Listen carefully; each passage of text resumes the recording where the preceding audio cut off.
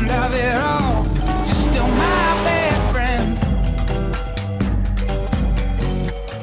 But there's something inside